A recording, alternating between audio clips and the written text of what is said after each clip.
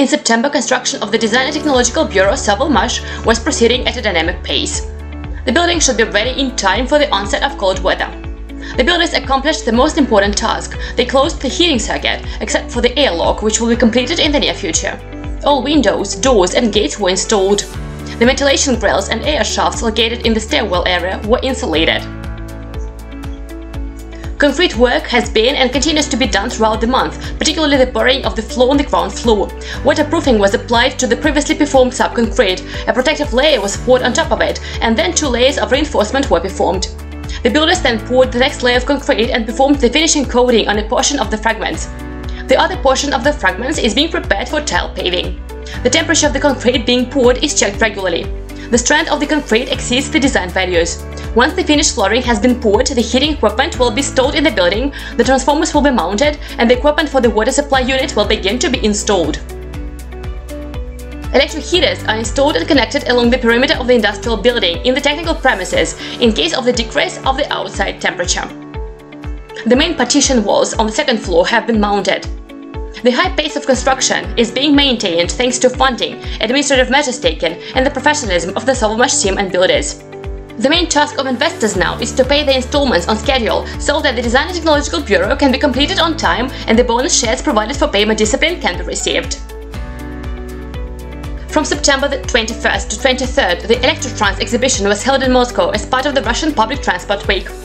Sovelmash exhibited motors and end products that use the Slavyanka combined winding technology. Among them, ASPP Weihai's Denzel Liberty S electric motorcycle with a DA95S motor upgraded with Slavyanka technology, which is mass-produced in China. Gillis elevator winches, traction and general industrial motors, boat motors, electric drives for handheld power tools, and much more. ASPP Weihai, together with one of China's largest manufacturers of lightweight aluminum boats, has launched a new solar electric boat project that will use electric motors with Slavyanka combined windings. The goal of the project is to produce electric boats that will run on solar energy without recharging from the electric grid.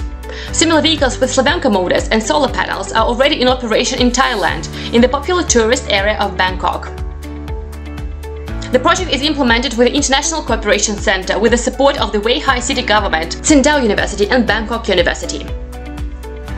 The mass production of electric motorcycle of cafe racer type with the Slavyanka DA95S motor from ASPP Weihai has started in China. Thanks to the advantages of the Slavyanka motor, the electric bike can reach a maximum speed of 120 km per hour and can ride without recharging 150 km, something that is necessary for motorcycles of this racing class.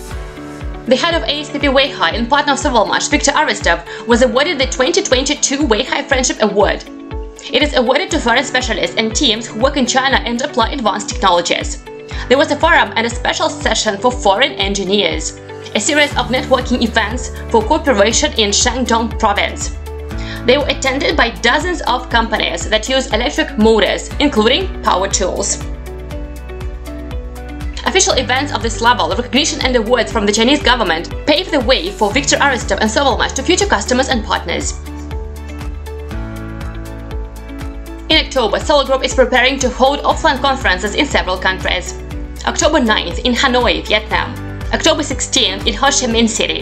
October 22nd in Indonesia, Surabaya. Indonesia and Vietnam are among the top 5 countries in terms of investment in the project.